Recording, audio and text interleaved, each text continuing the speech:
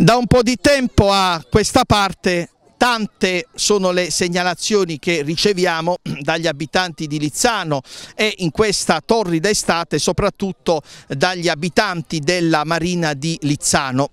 In più occasioni abbiamo sottolineato eh, varie disfunzioni, varie inefficienze amministrative, abbiamo parlato della sporcizia dei cumuli di rifiuti e di sacchetti non raccolti, abbiamo parlato delle, della mancanza degli scivoli, delle passerelle passerelle eh, per i disabili, ma vogliamo rappresentarvi una situazione ancora più eh, inquietante.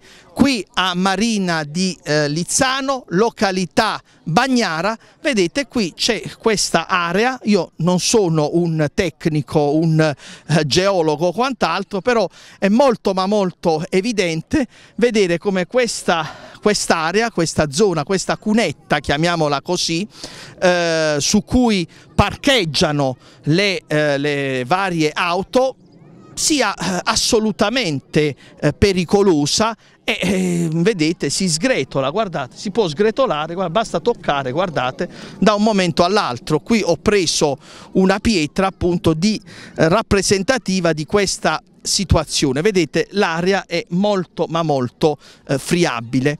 Io non voglio assolutamente fare come dire essere il profeta di sventure eh, né eh, voglio creare un procurato allarme però signori cari questa è un'area estremamente friabile vedete? Vedete come si sgretola? E immaginate cosa può accadere nel momento in cui ci sono più macchine nel momento in cui magari piove e quindi come dire la forza, la compattezza della stessa aria tende a, eh, a franare. Ora non sappiamo, c'è qui una vexata question se eh, l'area è privata o meno, ma in ogni caso quando anche fosse privata un'amministrazione eh, opera, innanzitutto eh, contatta i proprietari, ma qualora non ci riuscisse Caro sindaco Doria e caro vice sindaco Morelli, vi dico io come si fa, evidentemente devo dire che non, non so se lo sapete, perché si procede con l'ordinanza in danno, ossia l'amministrazione comunale provvede e procede a proprie spese per mettere in sicurezza la zona e poi si rivale sul proprietario perché è ovvio non è che dobbiamo aspettare una tragedia non è che dobbiamo aspettare che le macchine collassino franino e poi si interviene. Eh, signora ehm, voi eh, frequentate eh, questa zona e meglio di me conoscete i rischi. Qui davvero da, da un momento all'altro potrebbe, potrebbero franare fermare le macchine. Esatto, fino a ieri c'era un'auto qui parcheggiata, in effetti come ha visto lei, insomma, anche con una semplice mano, voglio dire, ecco qui.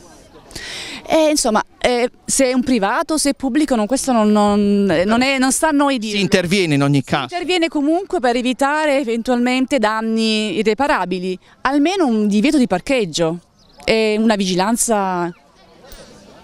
Fate voi, insomma.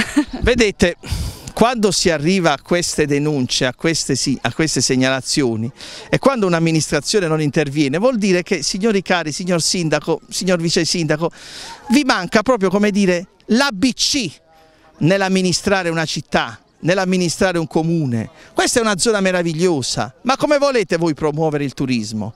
Tra immondizia, mancanza di scivoli per i disabili, eh, aree che rischiano di franare e di crollare, ma è possibile? Ma a questo punto, signor Sindaco, lei è un medico, ma mi consenta la battuta, non gliel'ha prescritto il medico di fare il sindaco, continui la sua valida attività di pediatra, ma rassegni le dimissioni da primo cittadino, perché Lizzano, la marina di Lizzano, gli abitanti di Lizzano, i forestieri, i turisti meritano ben altro, questo è un patrimonio dell'UNESCO, ma sinceramente è, davvero assurdo che nel 2020 parliamo di queste cose.